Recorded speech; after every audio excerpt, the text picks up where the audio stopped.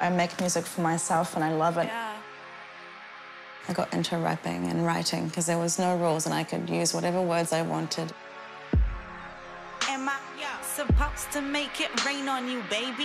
No, cause now I've been naked on your mind lately. I did go through a lot of things that were very detrimental to my mental health. Wearing the pants, the suit, the shirt that you left here. Everyone really has it, but it's just on different spectrums, and some have, have it more than others, and some just have trouble coping with life. That's just how it is, eh? It's not like, yeah.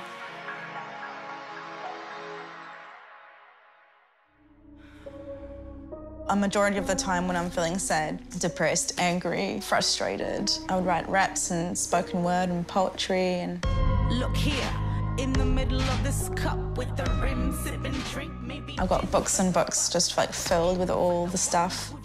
I was diagnosed manic depression, I was diagnosed borderline personality disorder, I was diagnosed all these things and when I first got told them, I did get to a point where it did take over me. Notice how I'm thinking about my life and notice how my If I put all my books into a timeline, you could see them get gradually like real angry and depressive.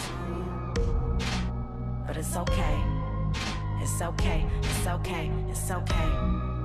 It's okay. After doing some therapy, I started to realize that once you know the definition of what you have been diagnosed with, it makes a lot more sense. But it's not.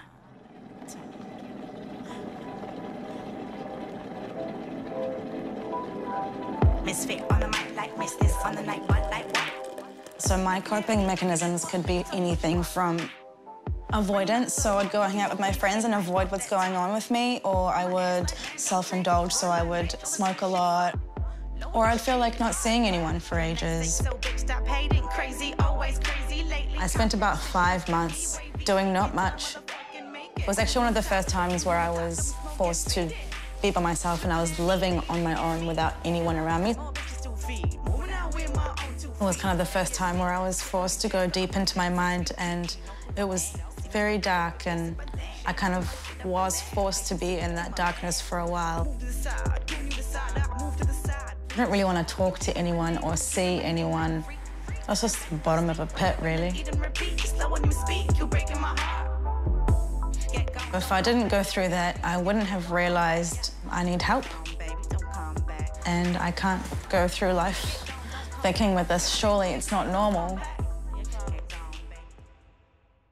Must believe I'm a mess when you see all of these demons in my chest. I started to want to make a change with myself. You can feed yourself lies for years and years, but you'll get to a point where that balloon's going to pop, and I think that that's what happened with me.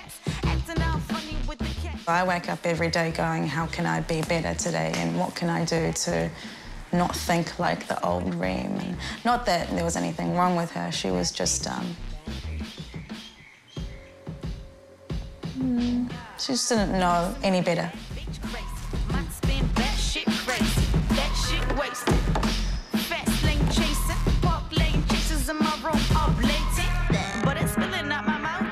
I want people to know that I am strong, and not just strong like she can do anything, but strong-minded and doesn't give up, and super witty and charismatic, and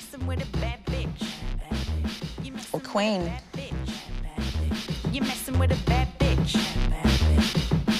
Yeah.